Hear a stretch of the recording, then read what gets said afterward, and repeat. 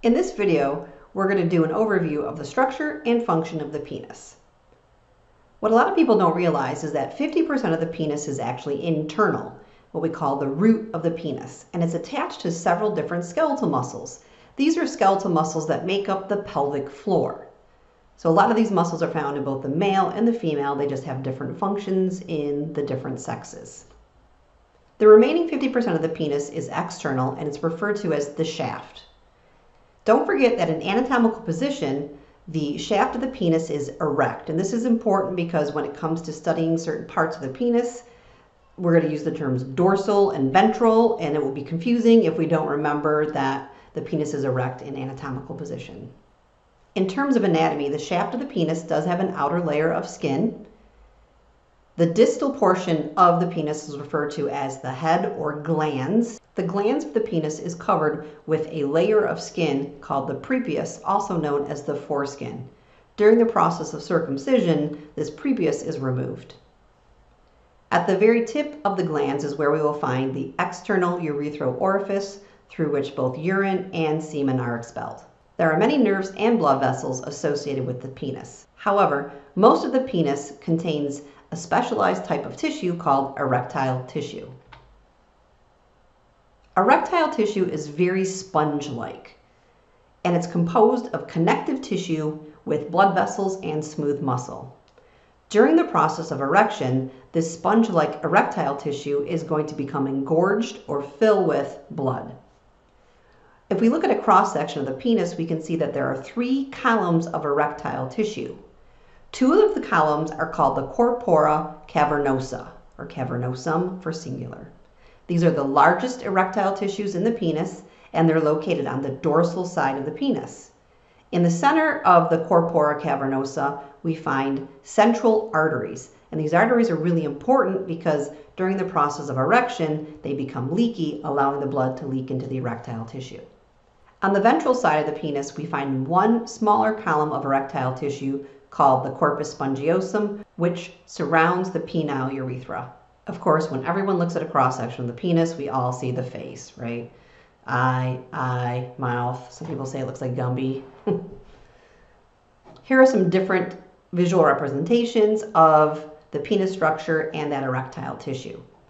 This is a flaccid penis, and this is an erect penis.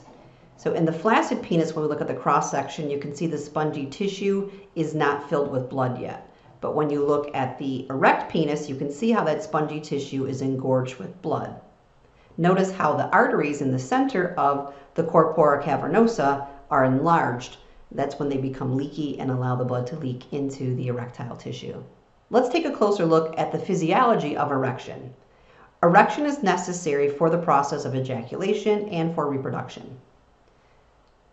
Erection requires the parasympathetic nervous system, and this is really important because we know our parasympathetic nervous system is our nervous system that we use during rest.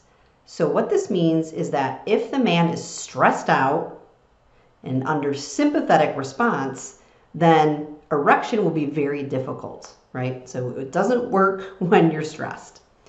The parasympathetic nervous system releases neurotransmitters that affect those arteries located in the corpora cavernosa. Basically, these neurotransmitters are going to affect the endothelial cells lining those, those blood vessels. And it causes those endothelial cells to release something called nitric oxide. So, nitric oxide is a chemical messenger used in the human body. And in this case, the nitric oxide is going to activate an enzyme called guanylate cyclase. This enzyme is located in the smooth muscle cells around the penile arteries. So what we have here are neurotransmitters affecting endothelial cells. Endothelial cells releasing nitric oxide, which affects the smooth muscle cells of these blood vessels. The guanylate cyclase itself is going to cause the smooth muscle cells to produce something called cyclic GMP or CGMP. CGMP is going to cause the smooth muscles of the arteries to dilate. And this means that the arteries will become bigger. And when the arteries become bigger, they become leakier because it causes those endothelial cells to spread further from each other, creating bigger intercellular clefts, allowing the blood to leave the blood vessel and enter into the erectile tissue. This causes the erectile tissue to engorge with blood, stiffening the penis with pressurized blood. Also happening during the process of erection are, is contraction of the skeletal muscles in that pelvic floor. And they're compressing on the root of the penis, which also is aiding in erection. I mentioned all that crazy stuff about cyclic GMP for a reason. So cyclic GMP is needed for erection. Viagra is a drug that helps men to attain erection. And what Viagra does is it prevents the breakdown of cyclic GMP. So there's an enzyme in the male's body that will break down cyclic GMP. But Viagra inhibits that enzyme, allowing the cyclic GMP to have its effect in the male's body.